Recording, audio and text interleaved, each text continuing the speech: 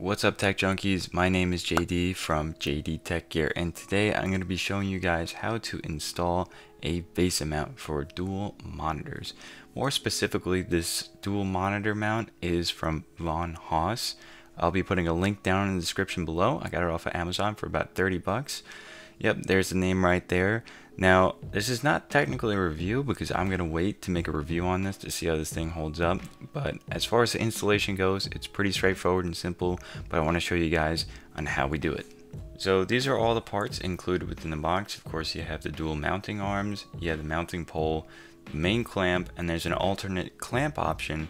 You have your Allen wrench keys, which there are two of them, and then you have um, the washers and screws included with a cable management clip and uh, the, also the mounting screw for the clamp into the mounting pole. So I wanted to take a further look into the cable management clip that goes on the back of the mount pole over there. You see those two little holes on the side? That's for holding the Allen wrench keys in case you need to adjust the height or anything else about the arms. And uh, that little bracket on the back, that hoop is for the cables. And these are the rubber feet that go on the underneath side of the mounting clamp to protect your desk from the clamp. And the clamp is simply straightforward. It's nothing that you probably haven't seen before. You just twist the knob until it's wedged between the desk and the clamp on top. So for my situation, it's a little bit different because the clamp is actually hitting the lip of the metal bracket on the side there. So what I'm going to do is put a piece of cardboard to wedge in between the plate and the surface of my desk to make it completely flush and secure. And this is in case if your desk is too thick for the original mounting clamp, although that would have to be a pretty thick desk. So what you'd have to use in an, in an alternative method would be this other mounting plate right here. And this mounting screw right here screws in to the mounting pole right there. So what that does is it makes a new clamp by using this base plate right here and mounting it in there directly through the hole of it. And then you use the smaller plate right here and you take the mounting screw and put it in between and thus you create a clamp that has a lot more space in case you have a thicker desk. Okay, so now moving on to mounting the pole to the clamp. So if you look closely, there is a hole there that matches up and lines up with the hole in the mounting pole. And then that would be your mounting screw right there. Now you got to make sure, if you look closely, there's a little notch right there that has to line up with the hole in the mounting pole right there. So once you have those aligned, you know that the mounting pole will be secured onto the clamp. And you have to make sure this is secured so that you can get the best fit for the screw into the pole. So once that's secured like so, take your mounting screw and fasten it with your hand and just tighten it. So next take the Allen wrench key, there's two of them, so it's going to be the thicker of the two and you're going to use the short side to get the most leverage out of it and tighten it as much as you can to make it as sturdy as possible. Next we're going to install the rubber feet. You just peel back the adhesive layer and stick them on. I don't know if there's a specific formation you should have, but on the picture there was this sort of formation with the three on top and two on the bottom. Next I put on the cable management clamp and you gotta be careful not to snatch your finger like I did. Yeah, that was great. Now there's two different ways of mounting this to your desk. You can either mount it with the pole and clamp on first and then sliding the arms down onto it or you can mount it all together. I recommend the first option and not doing it all together. I was just being impatient but this is how you slide on the mounting arms. There's a little screw down in the middle over there you'll see in between the two plates and you just tighten those up and loosen them and adjust the height as you wish. This is a close-up of what the screw looks like and used a smaller Allen wrench for this one and you tighten it as much as you can so you do not have this thing swinging around when you have your monitors on it. So the mounting arms have multiple hinges all of which you can tighten to your preference. I would highly suggest tightening these after you have mounted your monitors and plan on mounting it to the pole so that this way they're not swinging around when you're trying to throw this thing on top of the pole. Or if you do my method, you do it all at once. So either way, before you do the desk installation, make sure these things are tightened down. So for the next step, make sure you know where you want to plant this thing. For the preferred method, clamp this thing down, make sure it's secure and you know where you want it.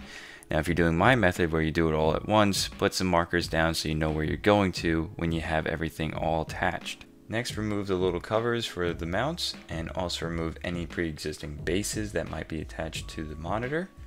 Also make note that if you have two different monitors, make sure you know which monitor you are putting in which order. I have one for gaming, which is my main monitor, and I have another one for productivity, which is my secondary monitor.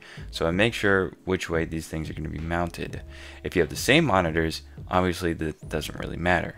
Also make note there are two different types of screws for mounting based on the type of mounting holes that you have in the back of your monitor. So make sure you know which ones you need and then also slip on the washers before installation. Once you've got your screws prepared, line up the holes and mount in a uh, diagonal pattern. So mount in one corner, mount in the others. This way you have even pressure among all and then retighten after those are all set. Then adjust the other arm to sit evenly across the mounting surface of the other monitor and do the same thing. Now this is not the preferred method, nor would I recommend this. Um, I just did it all at once because I didn't really think about it too in depth. But what I recommend is actually putting down the clamp down and the pole attached to it, and then slide down the mounting arms with the monitors attached onto the pole. This way, you're not doing it all at once and having the arms flying around everywhere, even no matter how much you tighten it, because as you can see, it could be quite catastrophic. So um, it's totally up to you, but that's my recommended method. Don't do what I did. And for anyone who has a lip or anything else that doesn't let the plate sit flush with the surface of the desk, I recommend just using a piece of cardboard because this actually worked out pretty nicely. Also, I apologize for the grainy nature of this part of the video. There wasn't a lot of light underneath my desk. But this method actually worked out pretty well, and I'm still using it right now. It might be a little sketchy, but no one can see it and it's actually very secure. And lastly, make the final adjustments to your monitors and see what kind of viewing angles you like. And there's also cable management clips on the back of the arms that you can use. I highly suggest using them and it cleans up the look a lot. And I will show you guys what it looks like now.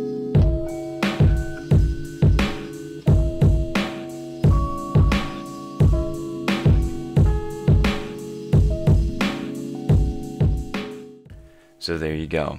I hope this helps you all out, and uh, if you're in the market for looking into how a VESA mount is installed, this can help, or if you just want to know how it's installed, or just need further clearer instructions, I hope this helps along that way. As you can see, this is part two of my setup makeover as I cleared off the bases of my monitor mounts. So those are gone, and now I have all this surface area, and it makes it look a lot cleaner.